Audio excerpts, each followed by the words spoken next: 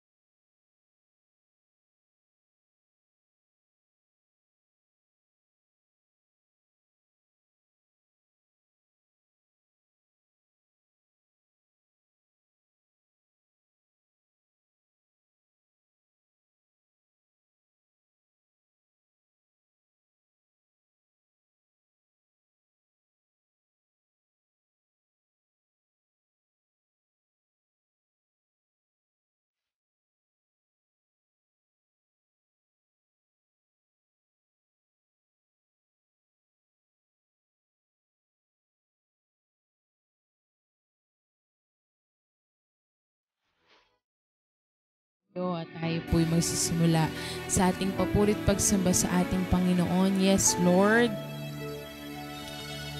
We greet you a happy, happy morning, blessed morning, O God.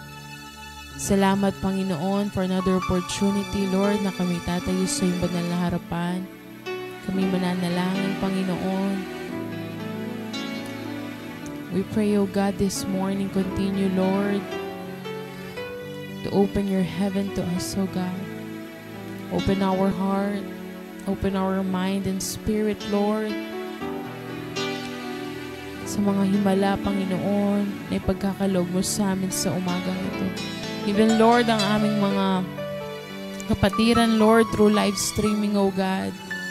We pray, O God, na ano man ang kanilang ginagawa, nasaan man sila, Panginoon, ang bukas sa kalangitan, O Diyos, ay pagkakaloob mo rin sa kanila, Panginoon. Lord, we want a pure heart, O God. Isang pusong dalisay, Panginoon.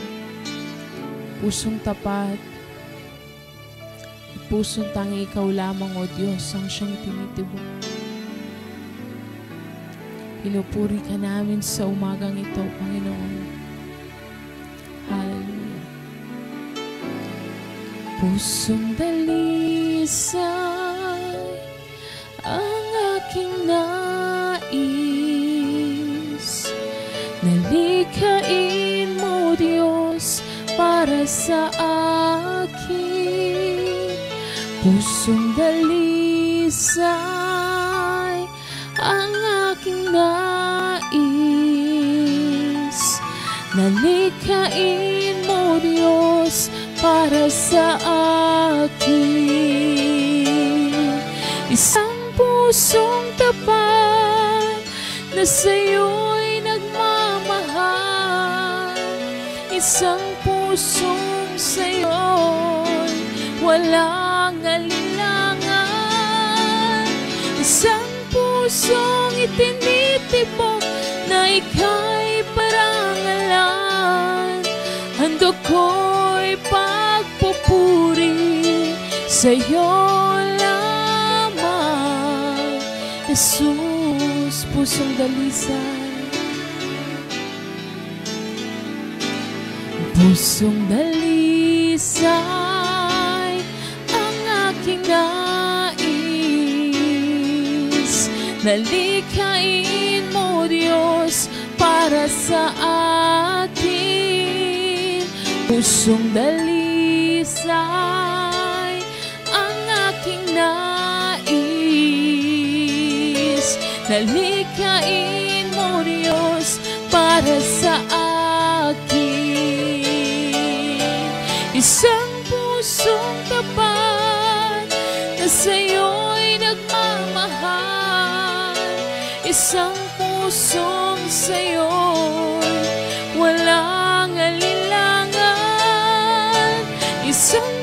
pusong itinitibok na ika'y parangalan. Handog ko'y pagpupuri sa'yo lamang. Jesus, isang pusong tapat. Isang pusong tapat na sa'yo'y nagmamahal. Isang pusong sa'yo'y walang alilangan Isang pusong itinitibok na ika'y parangalan Handog ko'y pagpupuri sa'yo lamang, Jesus. Sa'yo namin, Panginoon, tinitiwala, O Diyos, ang umagang ito. Ikaw lamang siya maparangalan, maging sentro ng gawain na ito, Panginoon. To you we give back all the highest praise, glory, and thanksgiving. In Jesus' mighty name we pray. Amen and amen and amen. Hallelujah! Kamanghamanghang pag-ibig ng Diyos, ating awitin.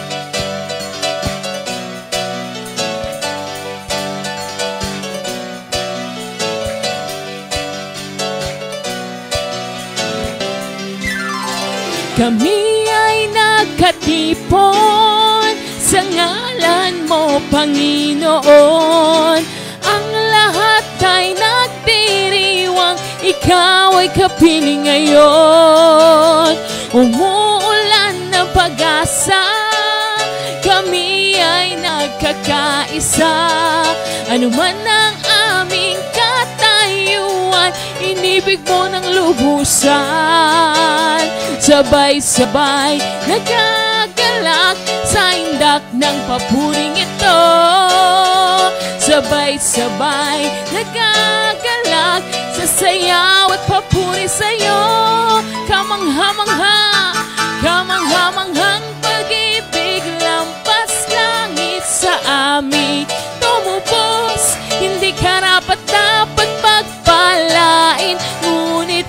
biyaya mo'y binuhos. Kamangha-manghang pag-ibig lampas langit. Kami minahal mong lupos. Aming itatanghal, pangalan mo, Jesus.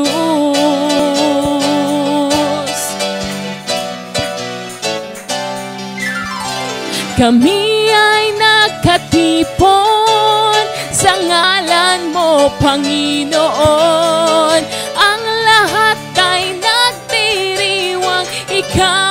Kapiling ngayon.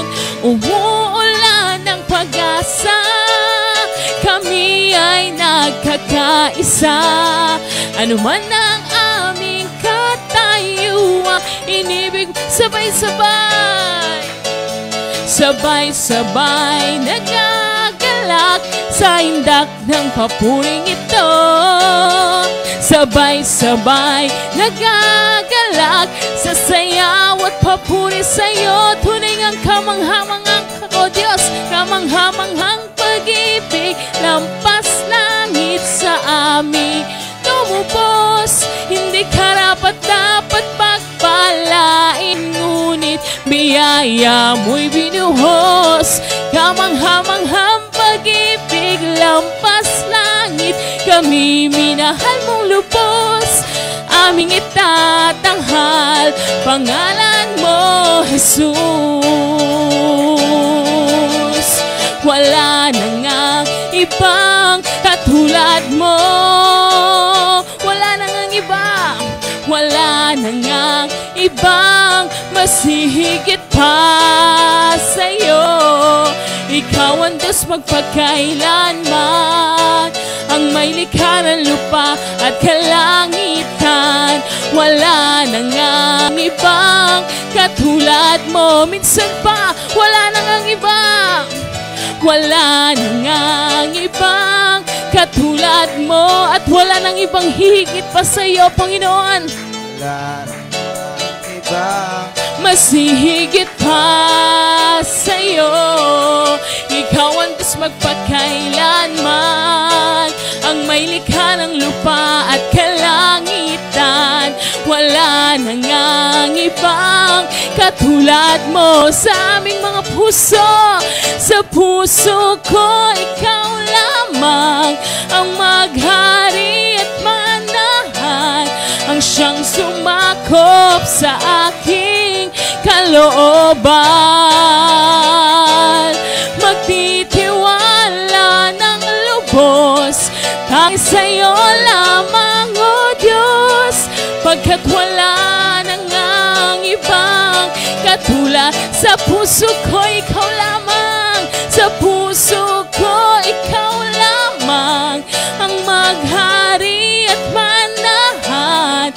siyang sumakop sa aking kalooban. Magtitiwala, magtitiwala ng lubos Tangis sa'yo lamang, O Diyos. Pagkat wala na ngang ibang katulad Sa uling tinig, sa puso ko ikaw lamang.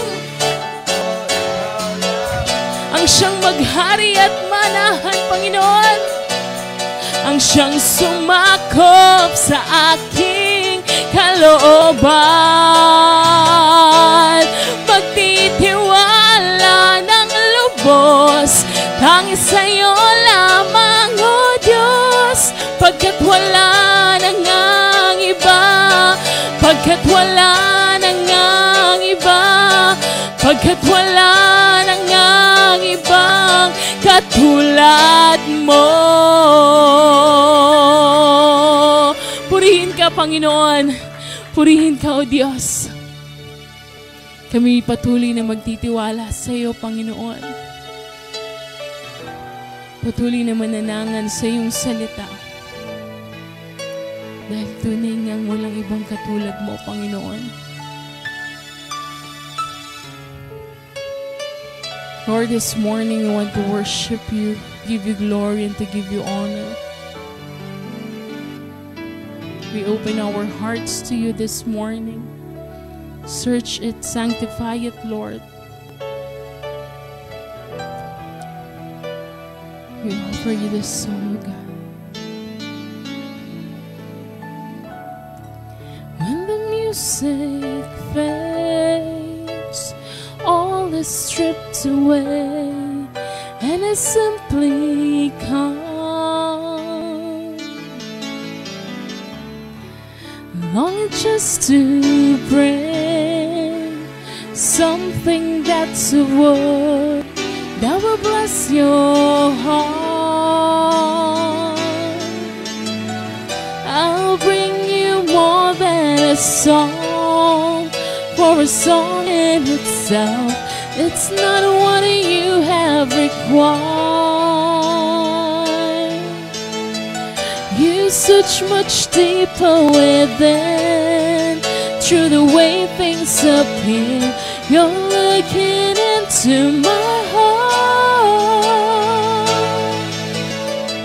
I'm coming back to the heart of worship, and it's all about you. It's all about you, Jesus. I'm sorry, Lord, for the things I've made but it's all about you. It's all about you, Jesus. Once again, when the music fades, the music fades, all is stripped away, and I simply come,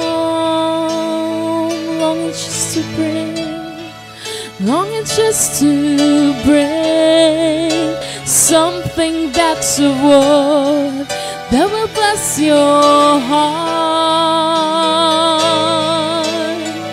I'll bring you more than a song, for a song in itself, it's not what you have required.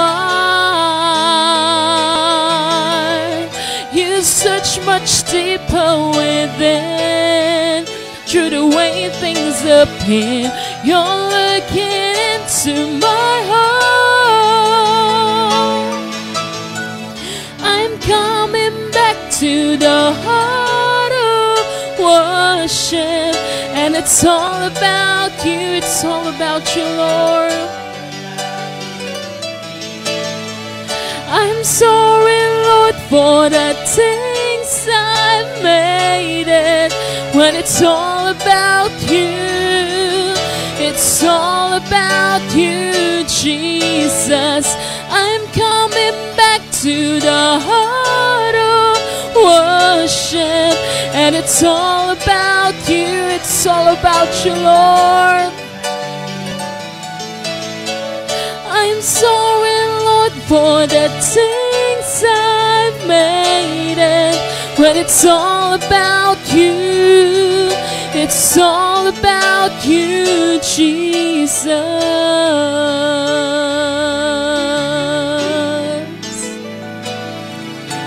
This is my desire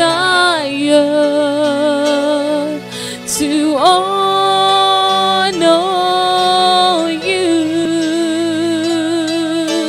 Lord, with all my heart. I worship you, all that is within me all that is within me. I give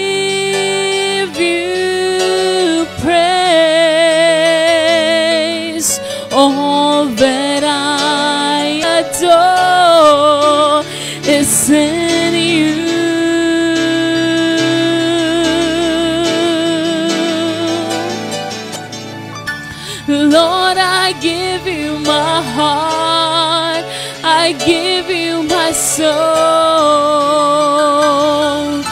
I live for you alone.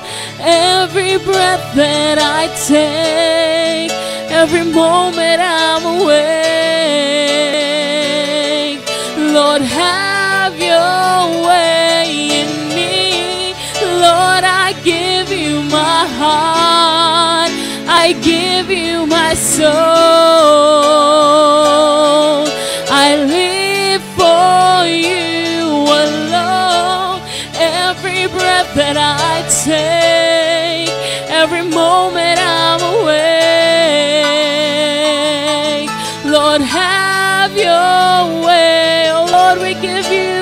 Lord, I give you my heart. I give you my soul. I live for you alone. Every breath that I take, every moment I'm awake. Lord, have your way for the last time. Lord, I give you my. I give you my soul. I live for you alone. Every breath that I take, every moment I'm awake. Lord, have your way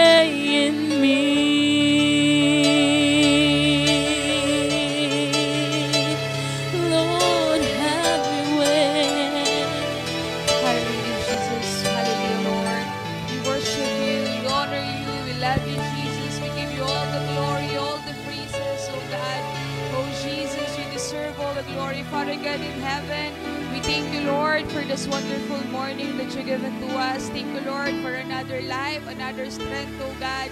Salamat sa pagkakataon at pribilehiyo na muli po kami makakalapit sa iyo at patuloy po namin may ipapanalangin ang aming minamahal na bansang Pilipinas. Panginoon, patuloy po kami at lubos-lubos po kami nagpapasalamat, Panginoon, sa patuloy mong ginagawa sa aming bansa. Alam po namin ito po'y dahil sa inyo, Panginoon, dahil patuloy mo kami binibigyan ng tagumpayan. Lord, ang panalangin po namin, magpatuloy po ito, Panginoon. Ito pong pagbaba, Panginoon, ng bilang ng kaso ng COVID-19, hindi lamang ngayon, Panginoon, ngayon lamang kami luluwagan dahil may eleksyon, dahil po campaign period, Lord, we pray, ito po'y magpatuloy, ito po'y matapos na, Panginoon Jesus. Inaangkin po namin ang katagumpayan, Panginoon, sa pandemyang COVID-19 ito. Wala naman, wala na pong anuman pong virus in the mighty name of Jesus. Wala na pong mahahawa, wala na wala na pong mamamatay sa pangalan ni Jesus, sa pangalan ni Jesus, sa pangalan ni Jesus. Inaangkin po namin, Panginoon, na kami po'y balot ng iyong banal at makapangyarihan ng dugo. Ingatan mo ang bawat Filipino people, Panginoon. Bigyan mo sila ng karunungan, ng katalinuhan, disiplinahin ng kanilang mga sarili. Patuloy pa rin nilang practicing, Panginoon, yung mga social distancing, yung pagsusuot ng mask, oh God. Lord, patuloy mo kaming samahan, Panginoon Jesus, sa araw-araw po naming buhay. Even Lord, Father God, ito pong campaign period, Panginoon, na ang, ang mga kandidato kung saan-saan pupunta, Lord, na panalangin namin, patuloy mo pa rin silang ingatan, oh God. Alam po namin wala kang tinatanging tao, oh Diyos. Alam po namin sila kami mong lahat, Panginoon, ay mahal mo, Lord, dalangin ko. Patuloy mong ingatan, Panginoon, ang lahat po, Panginoon, ng uh, nangangampanya. Dalangin po namin kayo ang ng puso ng bawat Filipino people. Ilagay mo, Panginoon, sa amin kung sino po yung dapat namin iboto, Panginoon Jesus. At alam po namin, ikaw ang magluluklok ng tamang tao, Panginoon, ng taong may banal na pagkatakot sa iyo. Lord, ikaw ang maglalagay sa pwesto, Panginoon, may, may tamang relasyon sa iyo, Panginoon. Wala pong mahirap at wala pong imposible sa iyo. Salamat, salamat po, Panginoon. Lord, we pray, we continue to pray ito pong pagtaas, Panginoon, ng presyo ng langis, oh God. Father God, we ask for your rescue, oh God. Tulungan mo kami, Panginoon, kung hayaan maapektuhan ang aming bansa sa nangyayaring gyera, Panginoon, kung sa Russia at Ukraine, we pray, take full control of everything in our land, oh God. Wala po pagkakatiwalaan, kundi ikaw lamang po, Panginoon. Dalangin po namin matapos na, huwag mo nang hayaan umabot pa sa isang daan yung, yung presyo ng lang- langis, Panginoong Jesus, Lord. Tulungan mo po kami, huwag mong hayaan tumaas yung mga iba pa pong presyo ng bilihin sa pangalan ni Jesus, sa pangalan ni Jesus. Ikaw lamang po, O Diyos, ang aming ipinagkakatiwalaan po, Panginoong Jesus. Lord, dalangin po namin tulungan mo yung mga kababayan namin na wala pong trabaho, wala silang mabili, Panginoon, ng pagkain, Lord. Dalangin ko, Panginoon, supply all their needs according to your riches and glory, O God. Patuloy mong samahan ng bawat Filipino people. I pray for salvation of all the Filipino people. Kaligtasan, Panginoon, buksan nila ang isipan nila, ang kanilang puso at tanggapin kanila bilang kanilang Panginoon Diyos at sariling tagapagligtas. Salamat, salamat sa magandang pagandang panahon na lagi mong pinagkakaloob sa aming bansa. Salamat, wala po kaming nababalitaang volcanic eruption, lindol, tsunami, Panginoon. Salamat, Panginoon. We are covered and sealed by the blood of Jesus, Lord. Hindi po kami titigil. Araw-araw po kami magpapasalamat at araw-araw po namin babanggitin, Panginoon, ang mga kamangmanghang ginagawa mo sa aming bansa. Lahat po ng papuri, pagsambay, binabalik lamang po namin sa iyo, O Diyos, sa pangalan ni Jesus.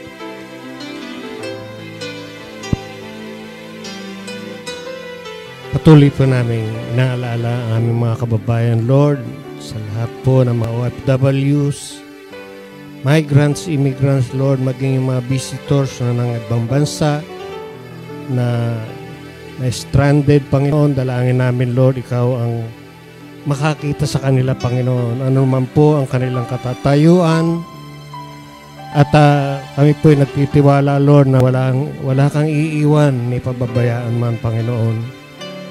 Salamat Lord maging sa lahat ng kanilang iniwan, mga mahal sa buhay. Ikaw ang kanilang dakilang comforter. At salamat Panginoon dahil ah, kung ano man po ang plano na ilagay mo sa kanilang puso, alam namin Lord na sasamahan mo sila at ikaw ang siyang magbibigay ng katuparan upang matupad ang ah, nais nila Panginoon.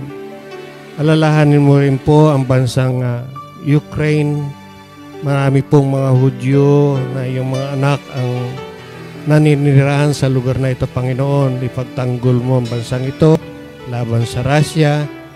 At ah, patuloy, Lord, na dalangin namin mahinto na ang digmaang ito sapagkat ah, nakikita po namin nasasayang ang maraming buhay, Panginoon.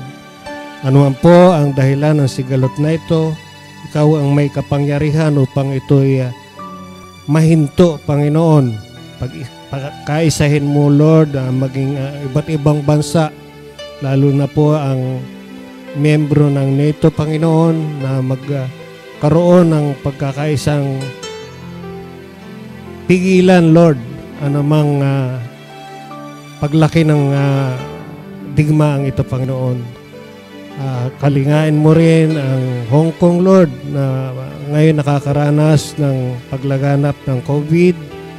Maraming Pilipino ang ah, naninirahan na sa labas ng kanilang tahanan. Panginoon, dalangin namin magkaroon ng tunay na ah, pag-asikaso sa mga OFWs na ito, Lord. At ah, kami po ay nagtitiwala, Panginoon, na hindi mo iiwan bawat isa, Panginoon. Salamat, Lord, sa iyong bansang Israel. Ikaw po ang kumilos, Panginoon. Ipagtanggol mo ang bansang ito. At sa lahat po na nais manumbalik sa iyong bansa, lalo na po yung apektado ng digmaan, ah, ikaw po ang maglagay sa kanila sa tamang katatayuan, Panginoon. Bless mo ang, ban- ang ah, Jerusalem, Lord kapayapaan ng aming dalangin, kaligtasan ng mga nanunumbalik, Panginoon. Pagharian mo ang bansang ito, pagharian mo po ang buong mundo, Lord.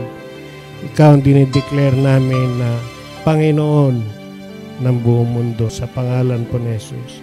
Amen.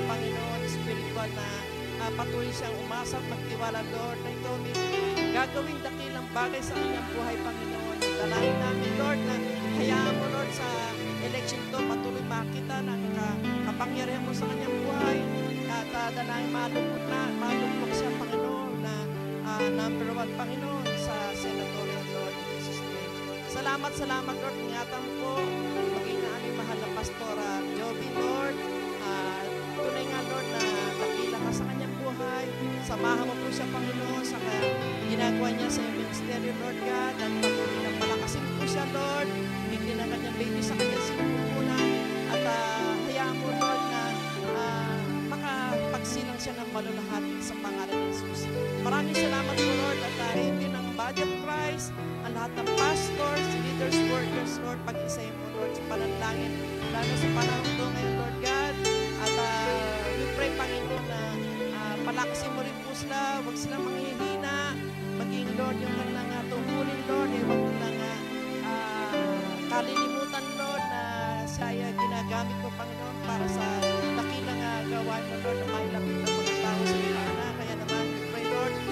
blessings, Lord, miracles and success sa kanilang buhay. At uh, magampanan nila, Panginoon, ang kanilang uh, tungkulin ng, ah, sa kanilang uh, ministry, ministry ng pinagkatiwala sa kanilang Panginoon na tunay nga ikaw ang maluluwalhati, Panginoon Jesus. Thank you, Lord, maging sa uh, kabataan, Lord, Kristiyanong kabataan para sa bahay ng mga KKBs, Lord, YN. Lord, i-revive mo, Panginoon.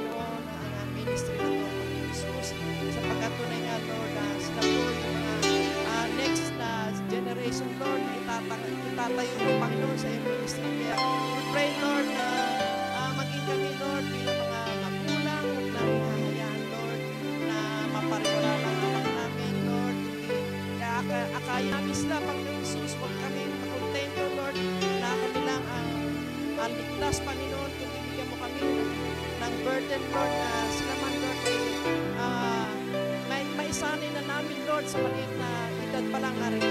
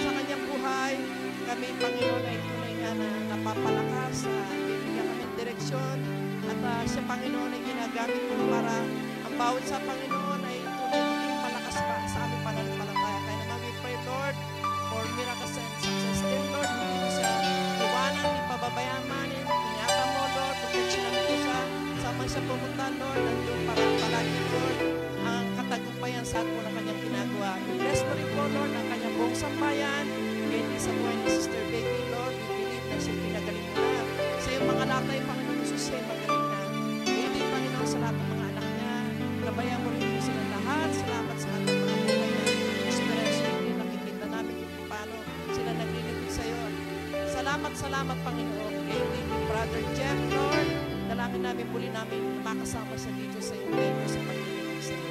Pinupuri ka namin ang magpinasasalamatan sa umaga nito. Siya napahingat na balik ang lahat ng papurit pagsamba sa takilang pangalan ng ating Panginoong Jesus. Amen.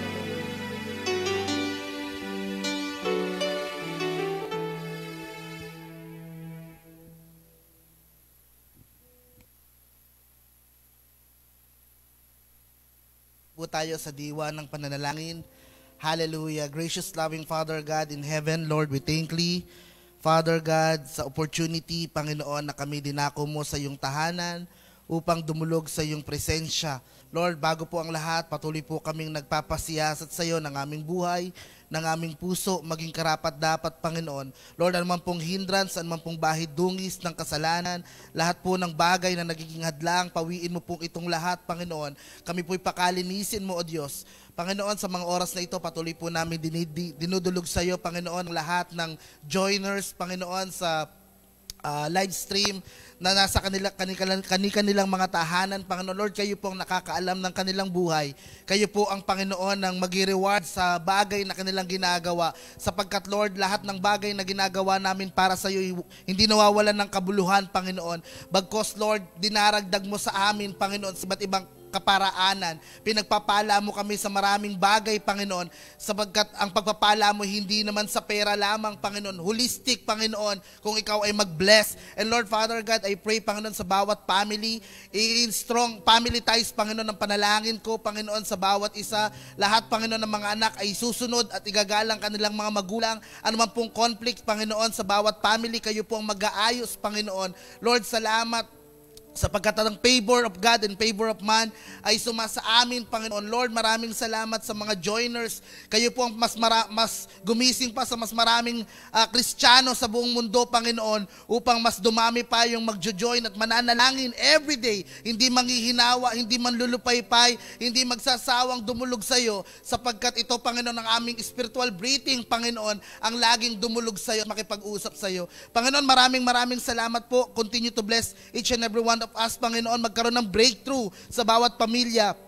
Worship breakthrough, spiritual breakthrough, financial breakthrough, Father God, ang igagawad mo sa buhay ng bawat isa. Muli, maraming maraming salamat. Isang mapagpalang umaga po, Panginoon, ang aming uh, handog sa iyo. In Jesus' mighty name we pray. Amen and amen, amen. Hallelujah. Bago po tayo po, tayo po'y umawit sa Panginoon. Napakaligaya at kahanga-hanga.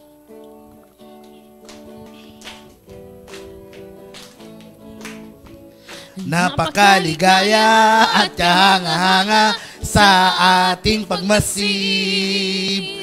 Ang nagkakaisa, laging sama-sama na magkakapatid.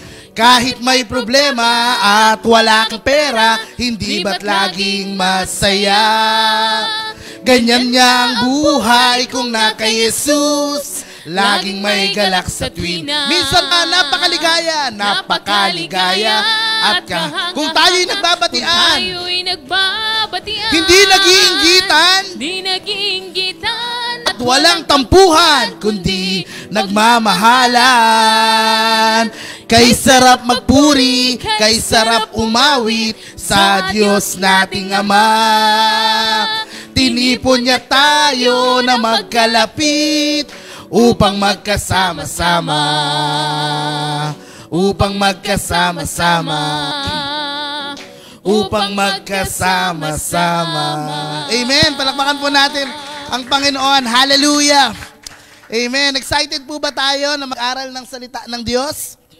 Amen. Sino po dito mga pinagpala ng Diyos?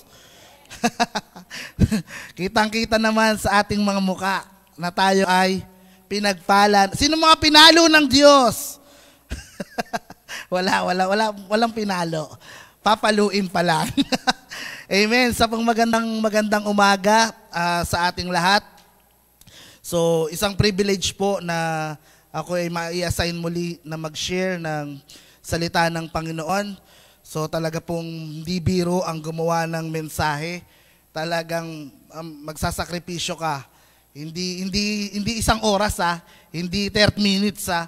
Talagang gugugol ka ng mahabang panahon. Ah, pero ano eh, doon sa pag-aaral natin every day, actually habang nakiklik ka ng salita ng Panginoon, naglalagay na siya eh. Kumbaga nire-ready niya na, naglalagay na ang Lord kung ano yung ah, bubuuin mo na mensahe. Eh, ngayon pong umagang ito, ang ganda kasi ah, habang nagpe-prepare ako, sabi ko, Lord, salamat kasi para sa akin to eh.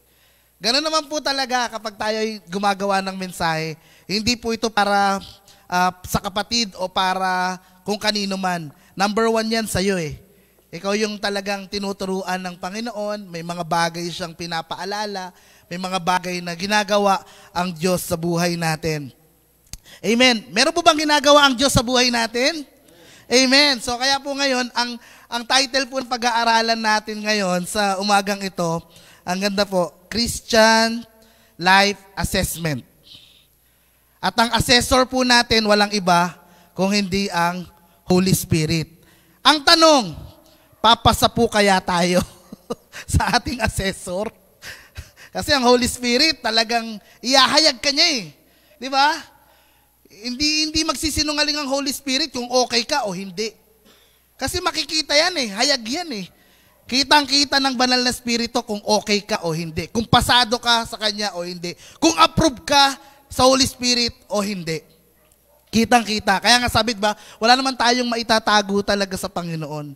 Lahat ng bagay na ating ginagawa, lingid yan sa Panginoon. Kaya nga dapat everyday, ina-assess natin yung ating mga sarili. Lord, nabigyan ba kita ng kalwalhatian? Lord, napasaya ba kita? Napangiti ba kita? Kasi everyday, sabi nga, we are not living in the, ano eh, kumbaga sa panahon ng, ni Jesus Christ eh. Hindi, namumuhay tayo sa panahon ng banal na Espiritu. Ito yung times na ang kapiling natin ay ang Holy Spirit at wala tayong maitatago. Isang bagay lang yung natatandaan ko pag pinag-uusapan yung Holy Spirit. Na-share ko na to dati sa mga KKB, sa mga YN. Um, alam niyo po ba na hindi tayo iniiwan ng Diyos? Amen? Alam niyo po ba na kahit kailan hindi ka iniwan ng Diyos? Even in the times na ikaw ay nagkakasala, nandun ang Holy Spirit. Yun nga lang, naiiling. Di ba? Kapag nahulog na naman tayo sa pagkakasala, naiiling. Kung lang, ba, parang, kung maaari lang, ano ba naman ito? Ito na naman. Nagkasala na naman yung anak ko. Eh, parang nakakaano naman yung sa damdamin natin na everyday, binibigyan natin ng sakit sa damdamin, puso ng Panginoon. So, ang text po natin ngayon, 2 Corinthians 13 verse 5. Sabi po dito, examine yourselves to see whether you are in the faith. Nasa pananampalataya pa po ba tayo? Test yourselves. I-test natin yung ating mga sarili. Do you not realize that Christ Jesus is in you? Unless, of course, you fail the test. Meron pa pong isa, Lamentation 3, verse 40. Sabi po dito, let us examine, ayun naman yung examine, our ways. Kamusta yung pamamaraan mo? Yung paano ka kumikilos? Paano ka nag-iisip? Paano ka gumagalaw? Let us examine our ways and test them. And let us return to the Lord. Kapag alam natin na yung buhay natin ay mali, ang sinasuggest po sa atin ng salita ng Panginoon, manumbalik tayo sa Panginoon. So, as a Christian, self-assessment is an important part of our faith.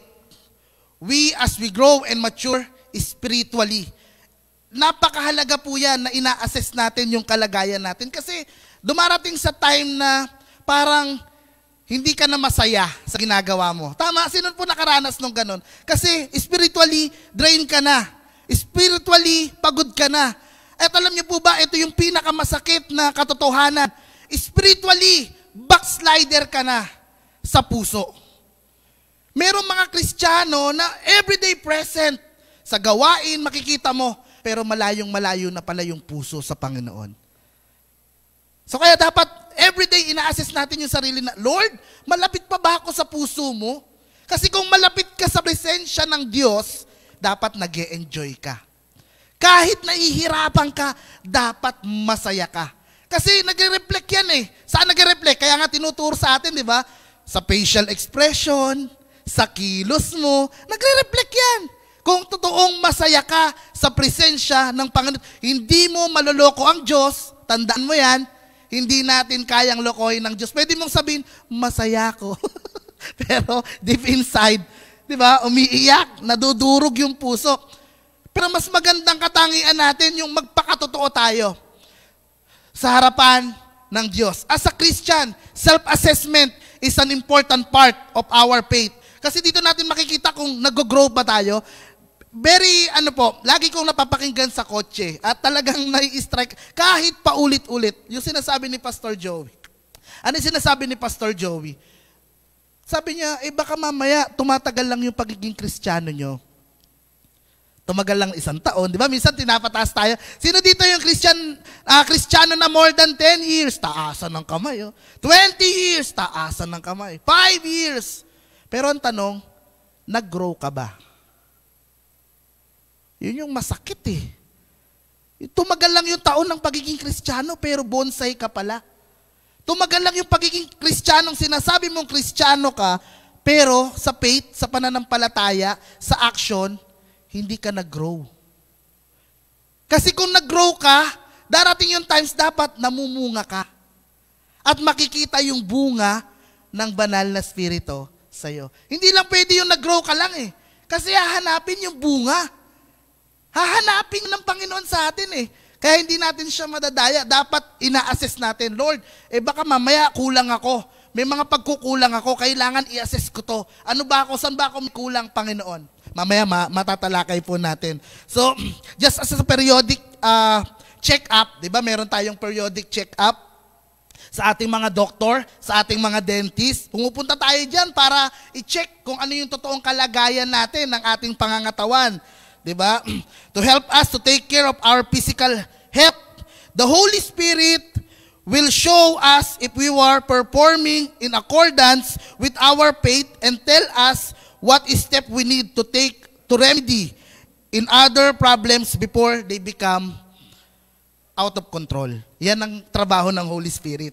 Ipapakita niya sa atin kung ano yung rem- remedy para mapanumbalik yung kasiglahan mo, mapanumbalik yung dating kalagayan mo sa ating Panginoon. So, ah, ilang araw po, itong mga week na to, napa, napag-aralan natin, no? ang ganda nung shinare sa atin ni Brother James. Ano nga yung shinare sa atin?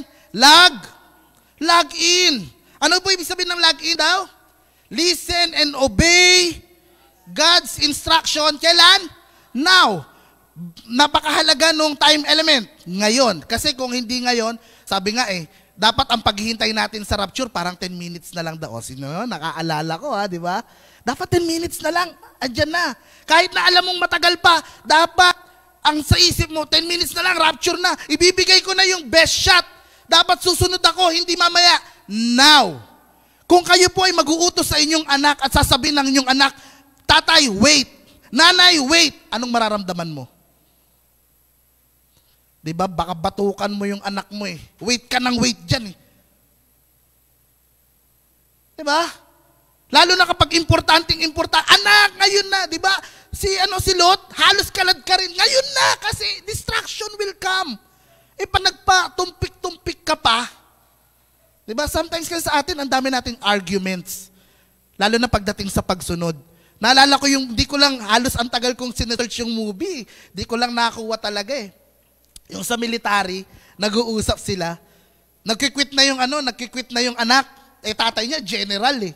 Eh yung anak, ano lang, sundalo lang. Sabi nung anak, ayoko na, magkikwit na ako, ayoko na maging sundalo. Hindi ko gusto yung sistema, hindi ko gusto yung ganitong patakaran, hindi ko gusto yung ganito. Alam mo, sabi nung tatay, sabi niya, wala nang problema sa sistema eh. Ang may problema, ikaw. Dahil hindi ka marunong sumunod. Konting delay, magkokos ng distraction. Wala na sa iyo yung kung ano yung gustong layunin, basta ang kailangan, sumunod ka. O, di ba? So, log in now, napakalaga. Tapos, shinare naman ng ating pastor, ano yung shinare niya? Kailangan tayo ay online. Kaya sabi ko, Lord, nag-iisip ako, ano kaya yung susunod? Pero eto, dito, binigay sa akin ng Lord yung kasunod. Kasi, kahit na mag-log in ka, kahit na naka-online ka, pero hindi ka naman connected sa internet, hindi ka makakapag-login. Hindi ka rin makakapag-online. Kasi walang internet eh. Dapat tayo ay connected. Sino po connected sa Panginoon? Yan, yan po yung pag-aaralan natin ngayon. So meron din po akong ah, ni-research na binigyan ko rin po ng acronyms. Ang Lord din po ang naglagay ng mga tamang acronyms sa word na connected. So, ano po ba yung connected? According to Google, sabi niya, brought together or into contact so that a real or notional link is established. Sabi naman po ng Merriam-Webster, having the parts of element logically link together. Nakakonect, nakaugnay. Sino po dito ang nakaugnay? Ano pong verse sa Bible ang nagsasabing tayo'y dapat nakaugnay sa Diyos? Sino po nakakaalam? John 15 verse 5. Ano sabi po?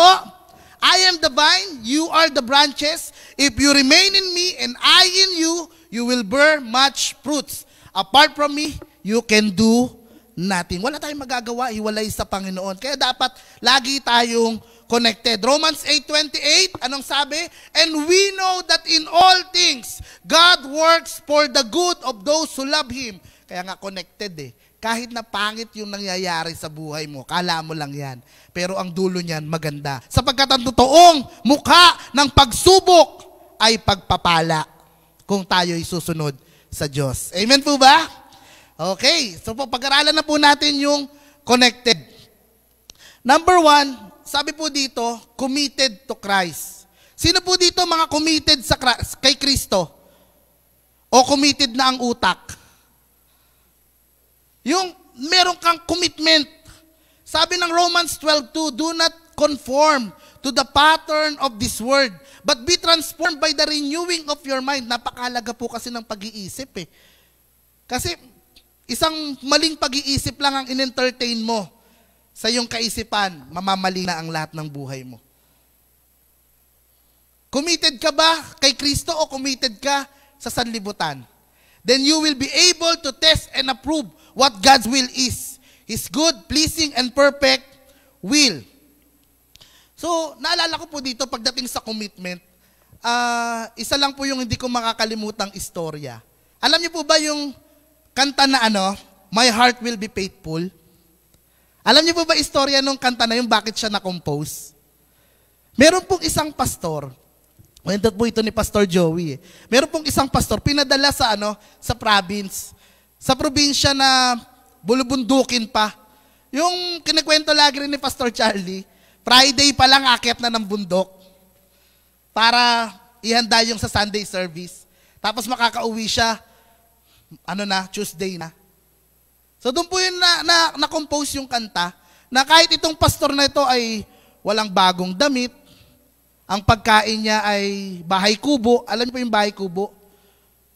Yung bigay lang ng ano, may kamote dyan, may kamatis dyan. Bahay kubo lang, pero hindi siya nagreklamo. Ni katiting na pagreklamo, wala siya. Hanggang na-compose po yung awit. Ang ganda ng awit, sabi, di ba? My heart will be faithful, Lord. My heart will obey you, Lord, to walk in the way you will lead me. Minsan pa nga po, awitin po natin, My heart will be faithful, Lord.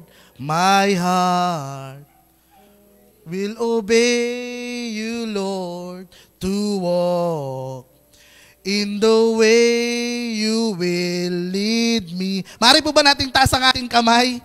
Hallelujah. With all...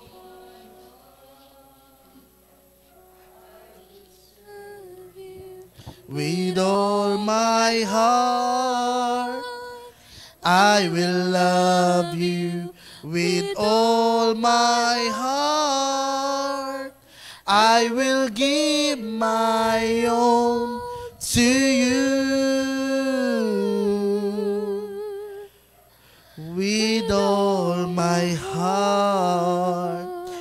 successful life requires commitment. Naalala ko po nung araw, mas maganda kasi para mapanumbalik yung pagmamahal nyo sa Diyos, alalahanin nyo po paano kayo unang naging Kristiyano. Paano yung commitment nyo dati? Di ba pagka, actually kagabi nga, na-rebuke tayo, di ba? Ang sarap eh. Pero yung rebuke na yun, na-remind din ako eh. Sabi, pagka Sunday service, ang gaganda ng suot natin. Di ba? Pag midweek service, parang napadaan lang. Eh service din naman yun, naging midweek lang. Pero service pa rin. Anong pinagkaiba nung Sunday service at saka midweek service? Parehas lang gawain ng Panginoon yan. Diba? Pag Sunday service, ang gaganda. Naalala ko nung araw, talagang hindi mo pwedeng sabihin, wala kang pambili ng damit. Kasi parang part na yan eh. Dahil mahal mo ang Diyos, nagbibigay ka ng budget para dyan. Di ba bumibili ka ng, ay ito gusto ko pang simba ko to. Maganda to, pang simba ko to. Kasi ganun mo mahal na mahal ang Diyos. Amen? Ngayon, tingnan po natin yung ating mga sarili. Sabi kasi assessment eh. I-assess po natin, mahal pa po ba natin ang Diyos? Pinapakita pa po ba natin na mahal natin siya? sa mga bagay na ginagawa na. Nung, nung araw, very excited tayo. Pupunta ako, ayoko ng late. Gusto ko ako yung maga. Gusto ko kung mag-aayos ng upuan. Ako yung magbubuhat ng ganito, ng ganyan. Kasi excited ka eh. Di ba? Committed ka sa Panginoon. Hindi ka naglilingkod para sa tao. Kahit anong iutos ng leadership, sunod ka lang ng sunod. Kasi nakikita mo, yun ay utos. Yun, yun yung commitment mo sa Panginoon. Pero ngayon, parang ang hirap na, eh, teka, i-assess natin yung sarili natin. Baka hindi na tayo committed sa Diyos. Committed na lang tayo sa tao. Tandaan po natin, yung commitment, a successful life requires commitment.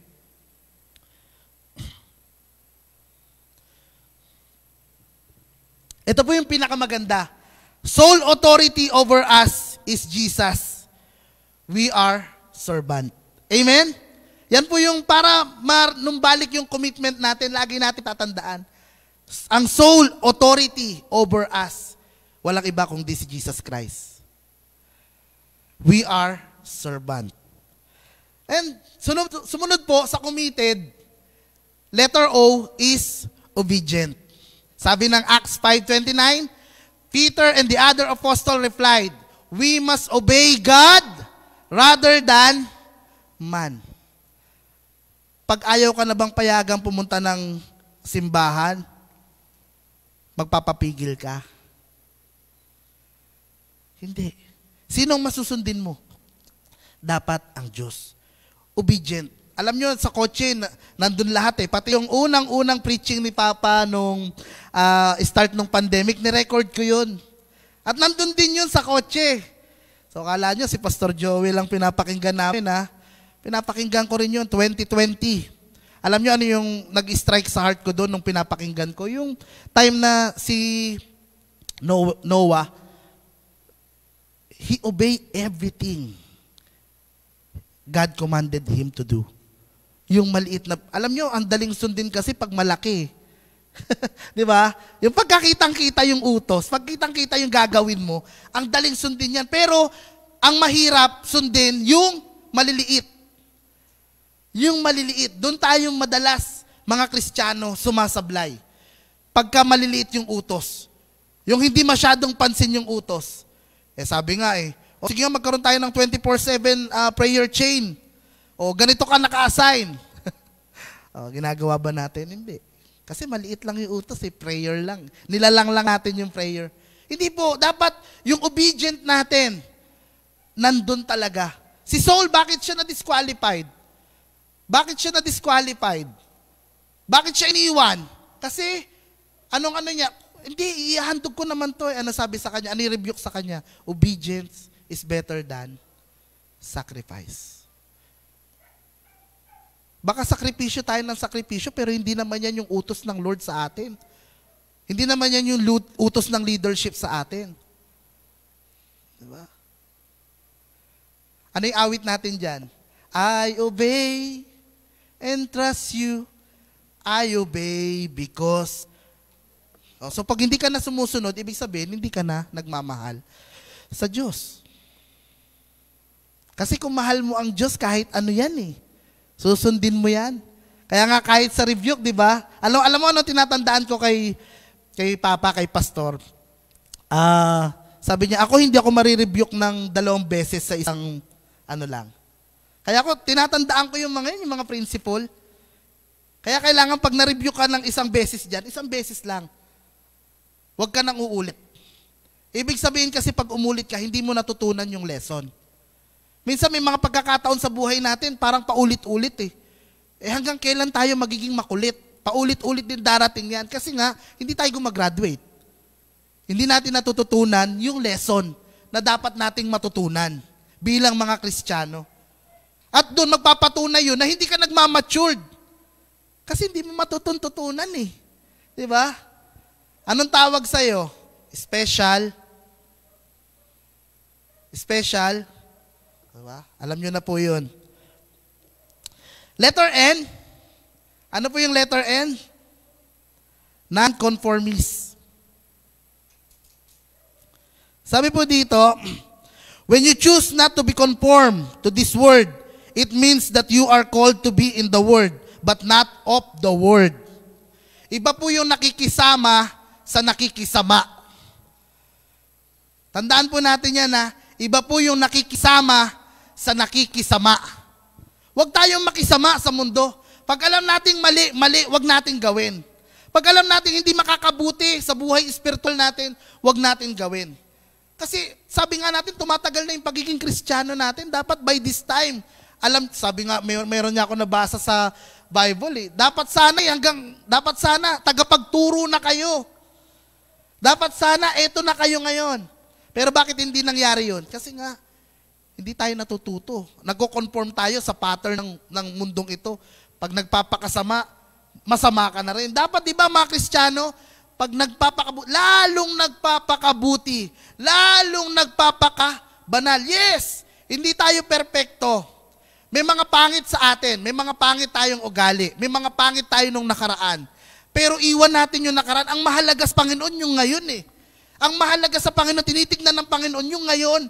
Yung buhay na pinapakita mong, Lord, nagpapabago ko sa iyo. Lord, nagpapadurog ako ng puso. Lord, handa akong sumunod sa kahit anong gusto mong maging ako. Kasi, ano nga sabi? Dadating na ang Lord, 10 minutes na lang. Yun dapat ang mindset natin, di ba? Ang sarap. Pag 10 minutes na lang, alam mong darating na ang Lord, di ba excited ka? Masaya ka? Sino po excited? Sino po gusto mapasama sa rapture? Now na! Amen. Iba yung nakikisama, tandaan po natin yan. Madalas kasi yan ang ano natin eh, katwiran. Hindi, nakikisama lang naman ako, kaya ano eh, kaya ako nag-join. Iba po yun. Iba yung nakikisama sa nakikisama. At wag po tayong makisama. Alam po natin kung ano ang kasamaan ng mundo. Isa pang letter N, noble in character. Eto na, pag-uusapan na natin yung character at saka attitude ng mga Kristiyano. Saan nakadepende ang attitude and character? Minsan may mga Kristiyanong ganito eh. Ganito mag-isip, kapag pangit ang pinakita mo sa akin, pakikitaan din kita ng pangit. Pag lumabas yung pangil mo, mas malaki yung pangil ko. Yan ba yung karakter na tinuro sa atin? Yan ba yung attitude? Kung ano yung kapwa mo, ganun ka? Eh di ba ang tinuro sa atin? Kapag binato ka ng bato, batuhin mo ng garapon. Hindi. batuhin mo ng tinapay na may palaman. Pag sinampal ka daw sa kabila, ibigay mo pa yung kabila. Character, Galatians 5.22, But the fruit of the Spirit is love. Sino po dito may pagmamahal? Isa lang. Sino po dito may kagalakan? Yun, medyo dumami. Sino po dito may kapayapaan? Ewan daw namin. Ewan namin. Sino po dito may uh, faithfulness? Meron pa po ba tayong bunga ng banal na spirito? Assess po natin. Pwede po natin i-assess. Kasi kung wala na po, pwede po natin ipanalangin, Lord, gusto ko pong mapanumbalik sa dati. Gusto ko pong magkaroon ulit ng mga bunga na to. Kasi pag hindi, hindi ka naging honest sa sarili mo, doon tayo mahihirapan eh. Yung nagkukunwari tayo. Yan yung mahirap na kalagayan ng isang Kristiyano. Yung nagkukunwari. Nagkukunwari kang malakas pero weak ka na pala. Nagkukunwari kang masaya pero malungkot ka pala. Nagkukunwari kang victorious pero hindi pala. Mas maganda maging honest tayo sa harapan ng Diyos. Lord, kulang na ako sa fruit of the Holy Spirit and I want it na maibalik sa akin, Panginoon. Lalong higit yung self-control, yung gentleness, yung faithfulness. Yan yung mga mahalaga, di ba? Yung goodness, kindness, peace, love, joy. Lord, gusto ko pong magkaroon nito. Sabi po ng Philippians 4.8, Finally, brothers and sisters, whatever is true, whatever is noble, whatever is right, whatever is pure, whether lovely, whatever is admirable, if anything is excellent or praiseworthy, think about such things. Meron tayong noble character. Nakikita sa atin yan. Di ba? Yun lang way ng paano tayo mag-iisip. Di ba? Yung tinuro ko nung nakaraan. Optimistic ka ba o pessimistic ka? Dapat lagi kang optimistic. Nakikita mo yung maganda. Nakikita mo yung positive. Kahit na pangit yung nangyayari. Romans 5.3, 23, Not only so, but we also glory in our suffering because we know that suffering produce perseverance, perseverance, character, and character, hope. And hope does not put us to shame because God's love has been poured out into our hearts through the Holy Spirit who has been given to us. Amen. So ayan, malapit na natin mabuo yung word. Next word po, next letter is letter E. Energetic. Sino po dito energetic? Ayan, madalas ko rin marinig kay Pastor Joey. Bakit ang pagsamba walang energy? walang kabu? Hay buhay. Dati no, naalala ko pagka uh, tumutugtog na, intro pa lang, no? Tumatalon ka na sa saya. Lumulundak ka na sa galak. Ngayon, no? Todo-todo na yung tugtog ng instrumentalist. No? Ni hindi ka na makapalakpak, ni hindi ka na makaawit, ni hindi ka na makapagtaas ng kamay. Ano nangyari? Wala nang energy. Bakit wala nang energy? Kasi inubos mo na. Kadalasan ng mga Kristiyano, ang binibigay lang sa Panginoon ay tira-tira.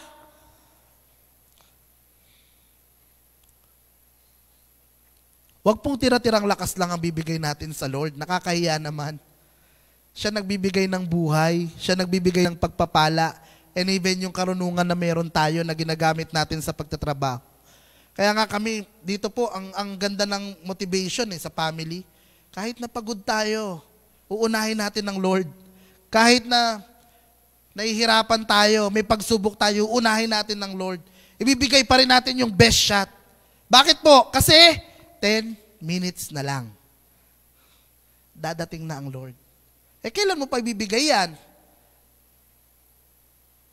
Di ba? Ngayon na. Sabi po ng Mark 12, 29 to 31, The most important one, answered Jesus, is this. Hear, Israel, the Lord your God is the Lord. The Lord is one. Love the Lord your God with all of your heart, with all of your soul, with all of your mind, and with all of your strength. Amen? Amen?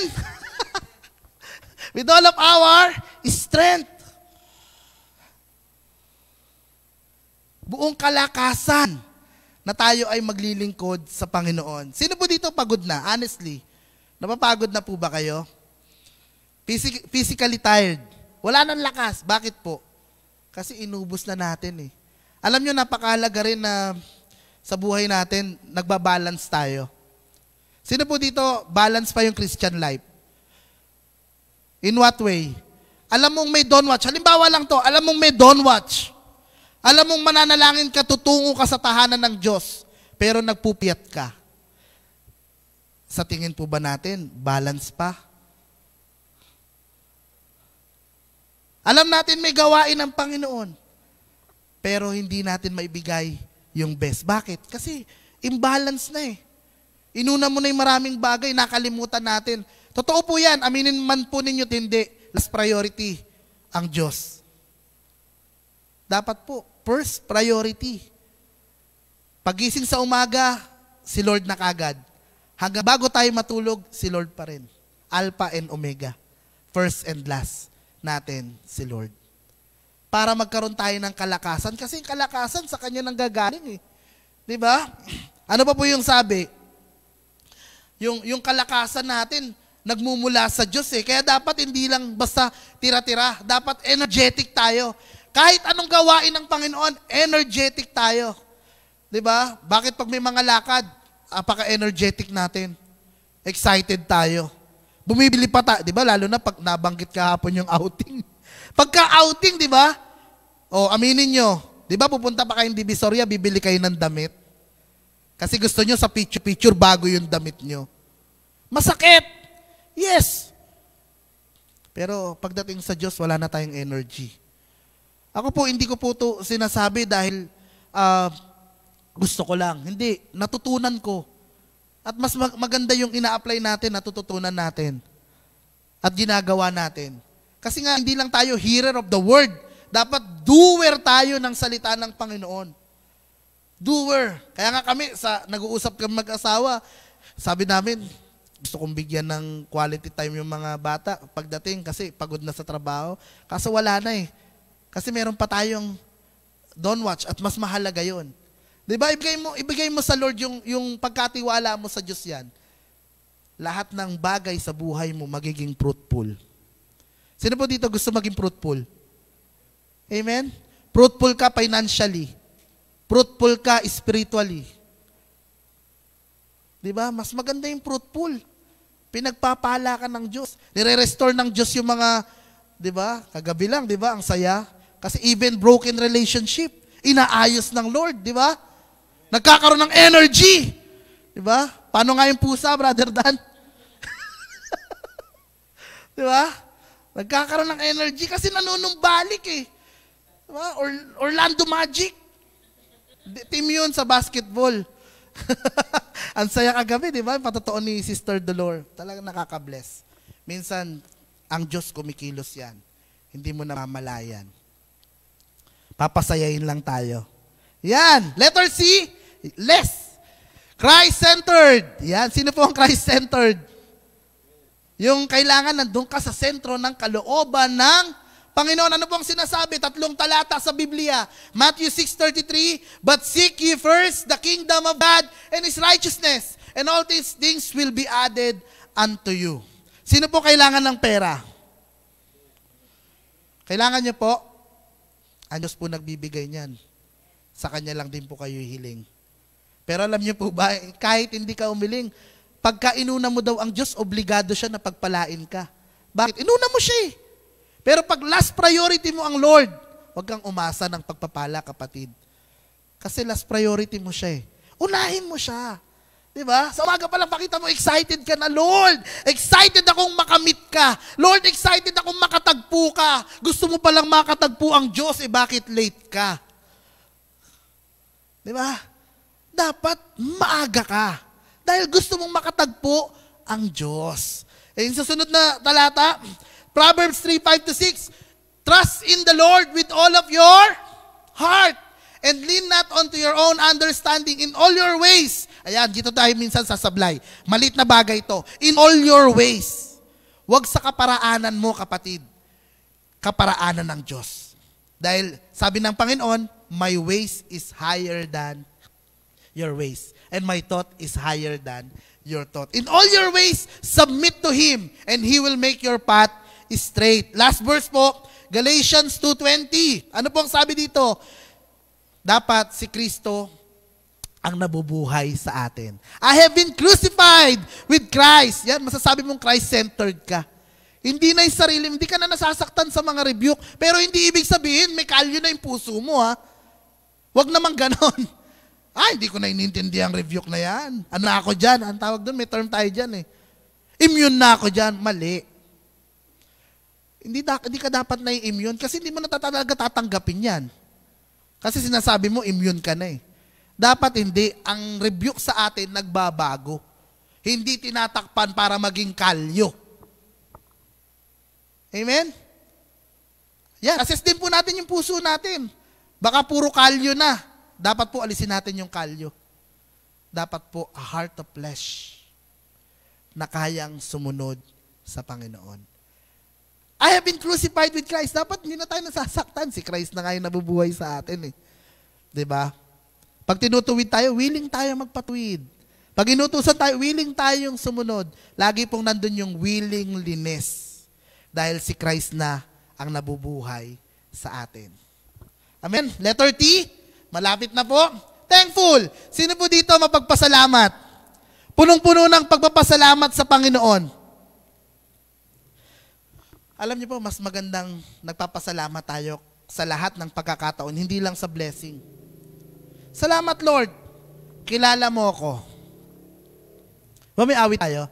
Salamat Panginoon, kilala mo ako. Kung di ka maintindihan ng kapatid mo, leader mo, ang Diyos kilala ka. Pwede ka na magsumbong sa Kanya. eh. Be thankful. Lord, salamat sa mga bagay na ginagawa mo sa buhay ko. Salamat, Panginoon. Kilala mo ako. Ang lahat ng bagay ay dilingid sa iyo. Dapat mapagpasalamat ka sa lahat ng pagkakataon. Hindi lang yung nag-thank you ka, excited. Napansin ko po yan, every Wednesday kasi tayo nagkakaroon ng ano eh, ng testimony portion, di ba? Bakit excited, Thursday, bakit excited lang tayo magpasalamat kapag ka pinagpala ka pinansyal? Excited ka magpasalamat kapag pinagpala ka, may bago kang damit, may bago kang ganito. Excited ka sa material things. Dapat excited ka rin magpasalamat sa ginagawa ng Diyos sa buhay mo. Salamat Lord, tinutuwid mo ako. Salamat Lord, may binagawa ka sa puso ko. May binabago ka. Salamat Lord, pangit yung nararanasan ko. May karamdaman pero alam ko, Panginoon, You are my provider. You are my Jehovah Rapha. Jehovah Shammah. Marami tayong bagay na pwedeng ipagpasalamat sa Lord. Hindi lang natin pinapractice. Letter E, sabi po dito, eager for Christ's return. Amen! Sino po excited sa pagbabalik ng Panginoon? Amen. Sabi ng John verse 1 to 4, In the beginning was the Word, and the Word was with God, and the Word was God. He was with God in the beginning. Through Him all things were made. Without Him nothing was made that He has made. In Him was life, and that life was the light of all mankind. 14 pala yun, Ate Jill. Eager tayo sa pagbabalik ng Panginoon. Yung nananabik tayo sa kanyang presensya. Sino po dito excited? Yung totoo. Amen? Bakit, ang, ang tanong ko po ngayon, ganito lang, simple lang. Bakit kayo excited?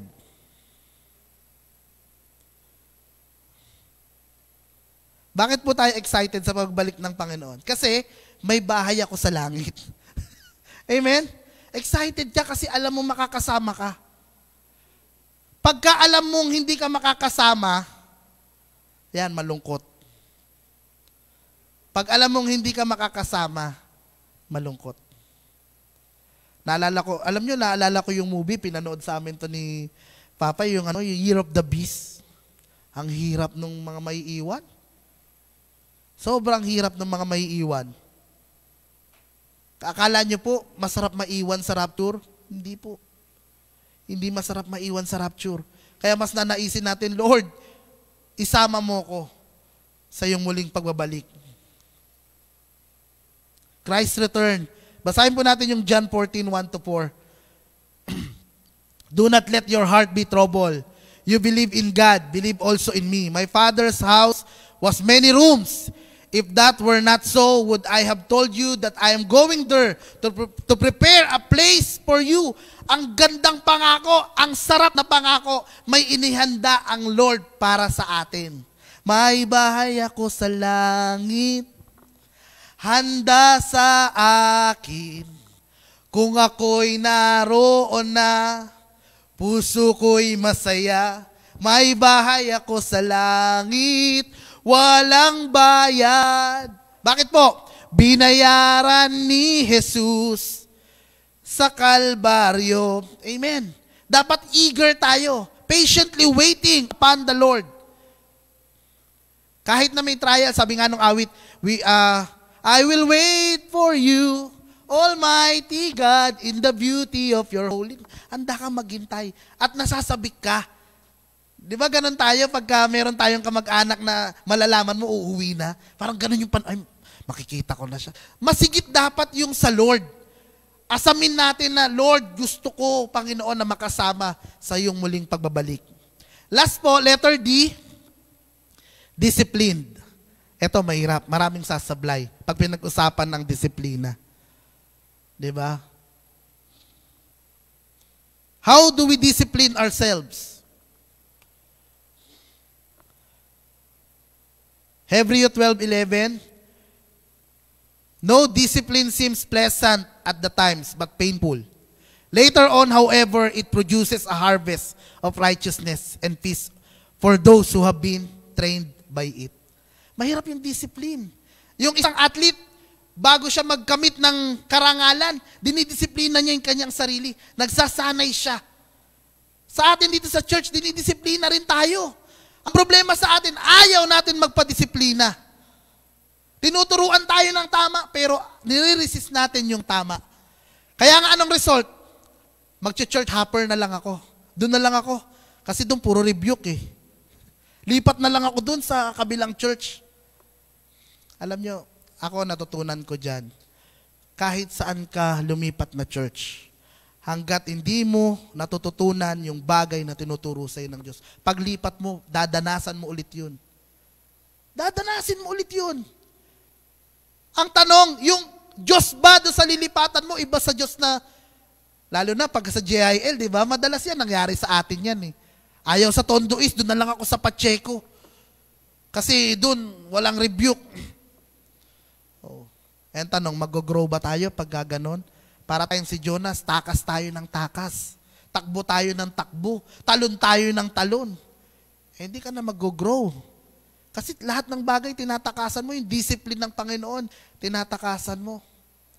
Kaya nga minsan, ito po tandaan nyo, pag may nagpa-pray po sa inyo, ako kasi pag may nagpa-pray sa akin, tinatanong ko muna eh, in-interview ko, bakit ka nagkaroon ng ganyan? Bakit ka nagkasakit? Pag sinabi niya na, eh kasi, ano yun, nalabag ko yung ano, naulanan ako, nabunan ako, na, nalalabag ko yung ano, law of nature. Yan, pag-pray mo siya. Pero pagka sinabi niya, eh kasi ano eh, eh may nagawa kong kasalanan sa Lord. Ha, teka, teka, teka. Huwag ka mamamagitan para sa Kanya. Kasi pati ikaw dadamay ng Lord. Eh dinidisiplina ko yan, anak eh. Pinapalo ko yan. O, kung gusto mong disiplinahin ka rin ng Lord, yan, sige. Proverbs 3:11 to 12. My son, Do not despise the Lord discipline.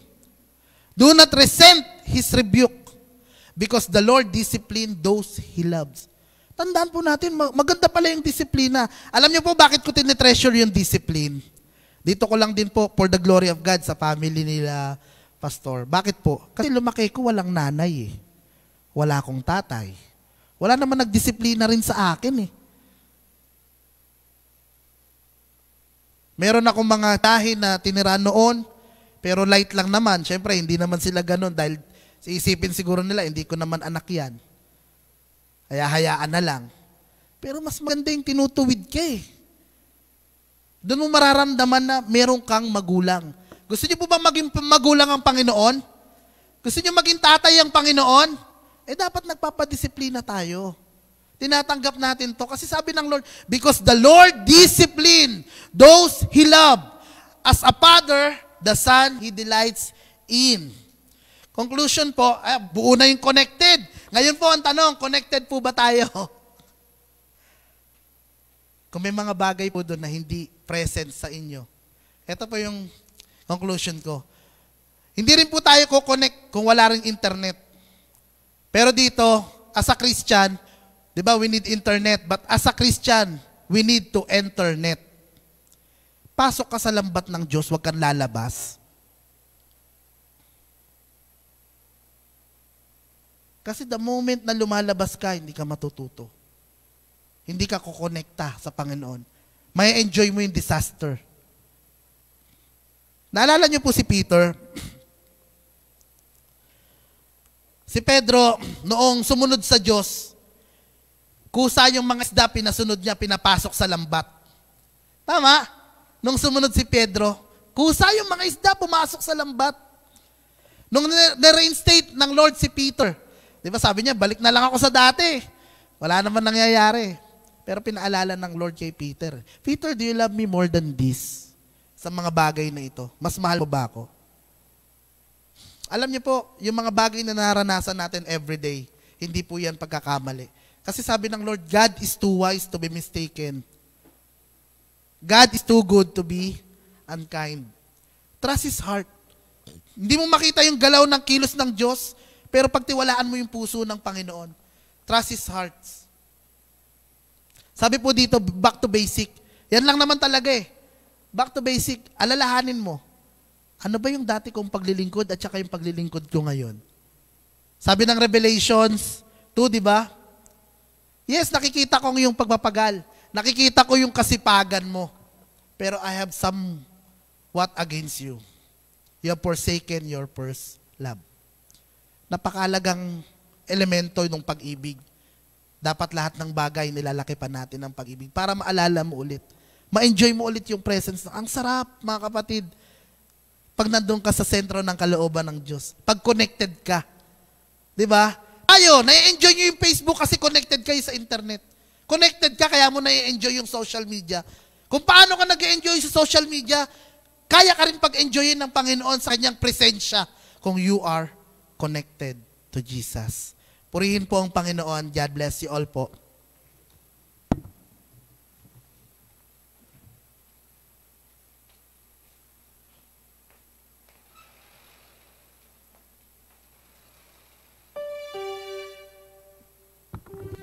Praise the Lord. Are we blessed? So, can you remember yung connected?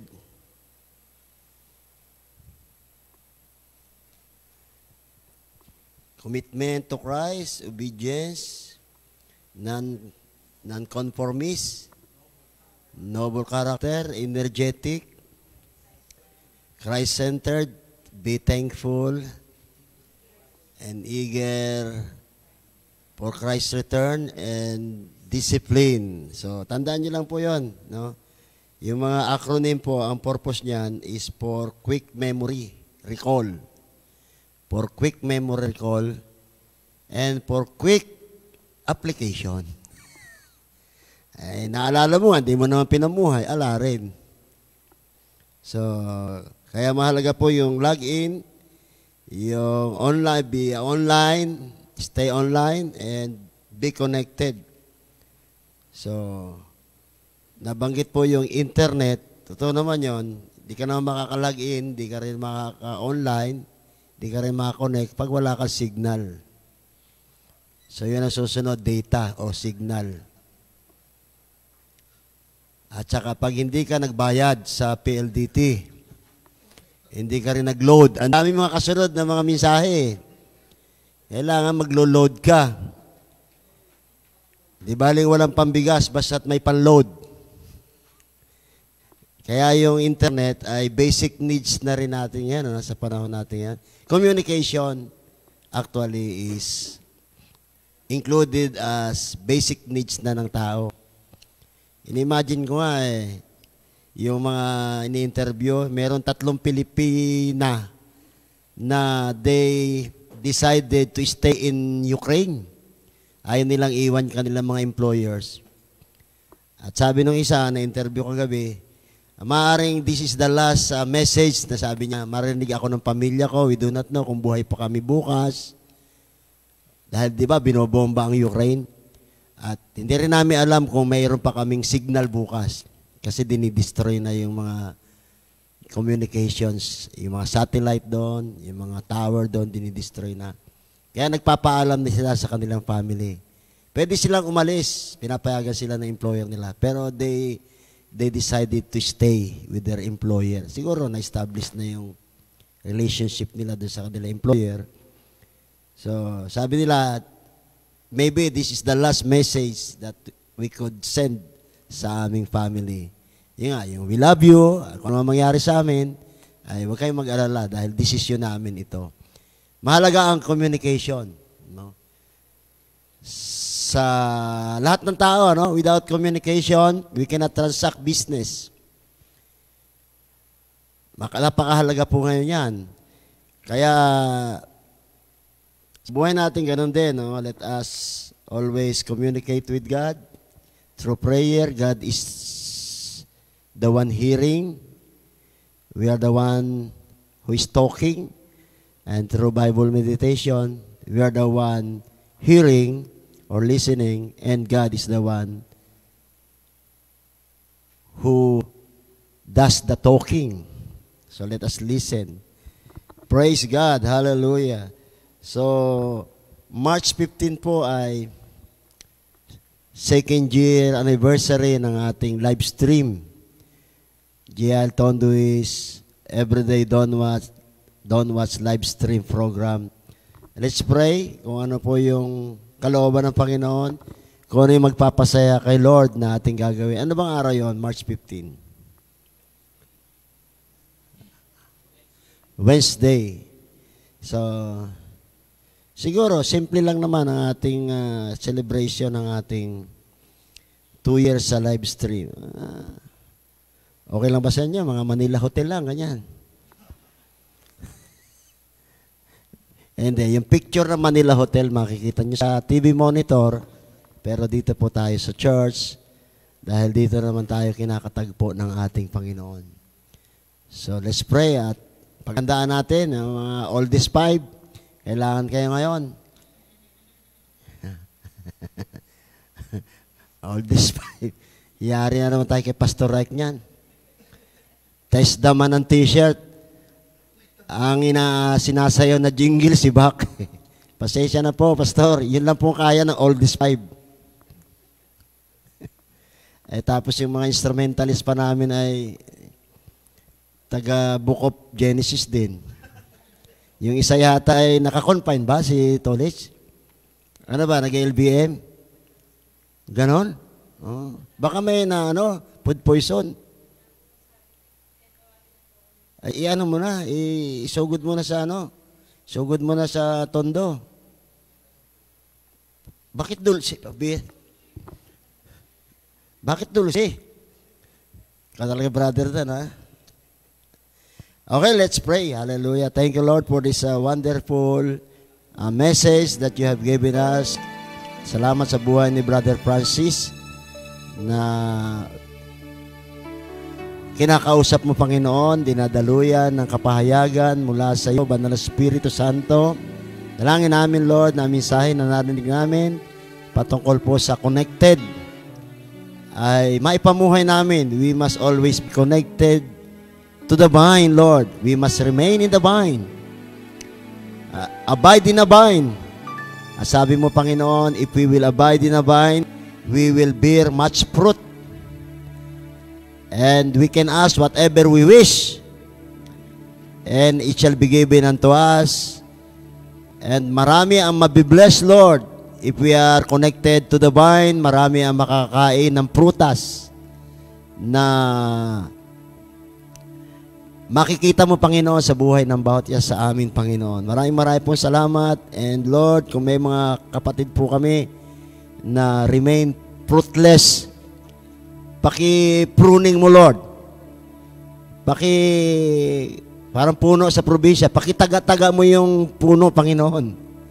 Bagamat masakit, Lord, but pakipausukan mo, Lord, para mamunga. Yung paraan, Lord, para mamunga yung punong hindi namumunga.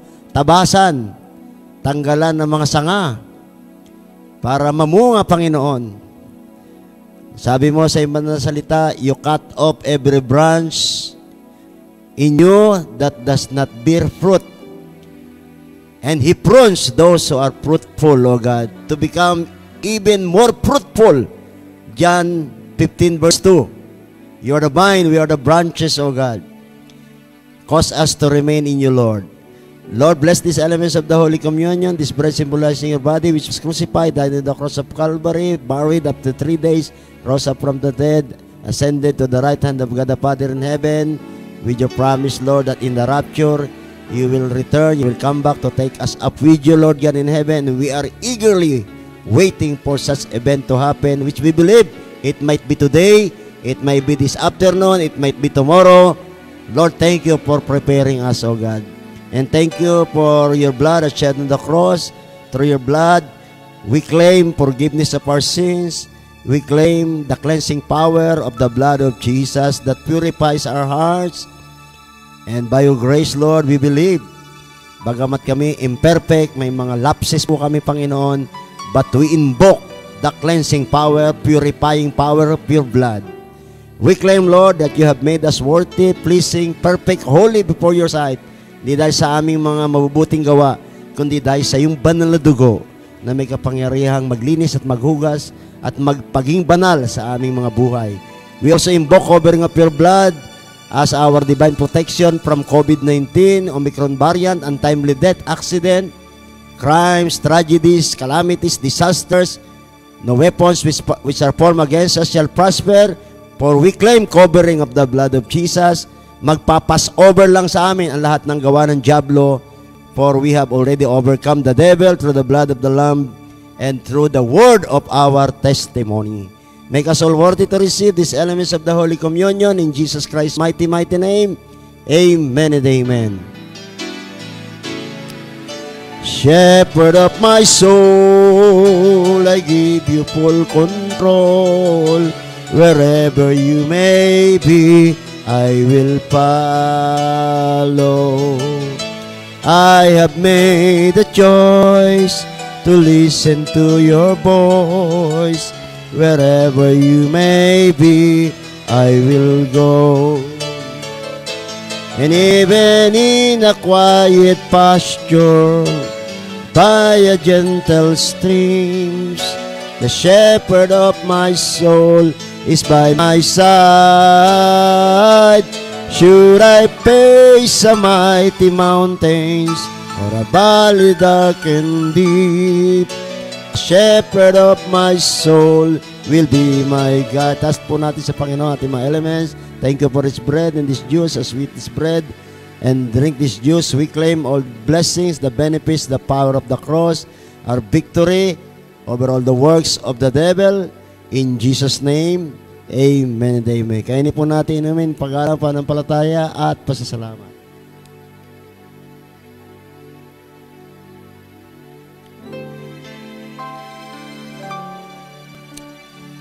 Lord, maraming maraming salamat. Salamat, Panginoon, sa iyong mensahe para sa bawat isa sa amin. Dalangin ko na araw-araw, Lord, ay mahayag sa aming mga buhay, may pamuhay namin ng iyong banal na salita. Samahan mo kami sa buong maghapong ito, gabayan, ingatan, pagpalain, bigyan na kalakasan, karunungan, pagtagumpayin, Panginoon, sa lahat ng mga gawain, sa aming trabaho, business, Panginoon, gawaing bahay. Lord, maging masaya po kami sa aming ah, paggawa sa buong maghapon pong ito. Maging matagumpay, maging ligtas kami. Muli bukas, dalhin mo kami sa iyong banal na presensya sa pamamagitan sa pag-join sa Everyday Don Watch live stream program. Sa iyo ang lahat ng papuri sa makapangyarihang pangalan ni Jesus. Amen and amen. Paglilingkuran, laging andugan ng pagpupuri at pasasalamat. Paglilingkuran,